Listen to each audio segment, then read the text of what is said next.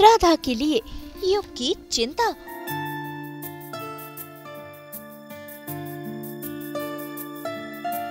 देखिए प्यार की सनक।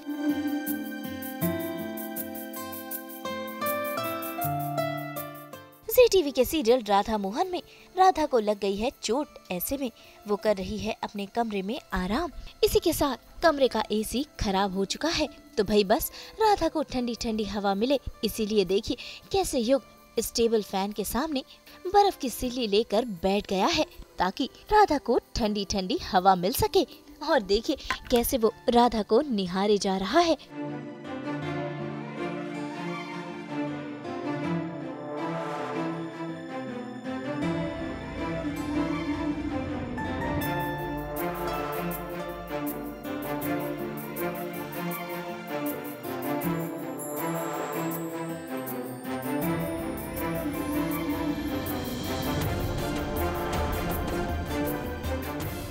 ख़राब हो गया यार। युग के घर की एसी उनके कमरे की एसी ख़राब हो गई है।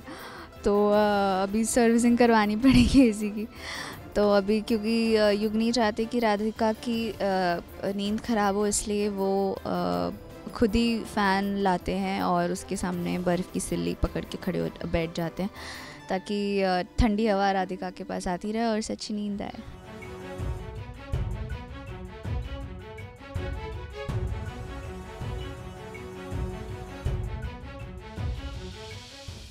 भाई बर्फ़ की इस सिल्ली से युग के हाथ छिल गए हैं, लेकिन फिर भी वो अपनी राधिका, यानी कि राधा को ठंडी हवा देने में लगा हुआ है, अपनी परवाह किए बिना।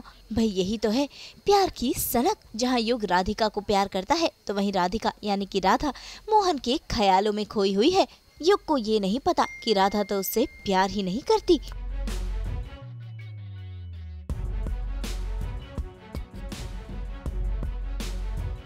तो यहाँ पे पूरा प्रॉपर लव ट्रायंगल दिख रहा होगा आपको। युग राधिका के ख्यालों में राधिका मोहन जी के ख्यालों में। मोहन जी अब आप जब मोहन जी के पास जाओगे जब मीरा हाउस जाओगे तब आपको पता चलेगा वो किन के ख्यालों में बट हाँ अ, राधिका को मोहन जी की बहुत याद आ रही है क्योंकि कहीं ना कहीं वो अब भी राधा है अंदर से। फ़िलहाल तो राधिका बिल्कुल नहीं चाहती कि वापस से मोहन जी गुनगुन या उनके परिवार में से कोई भी अ, युग हाउस या राधिका से वापस कभी मिले। तो फ़िलहाल तो राधिका की तरफ़ से यानी कि राधा की तरफ़ से बहुत बड़ी ना है।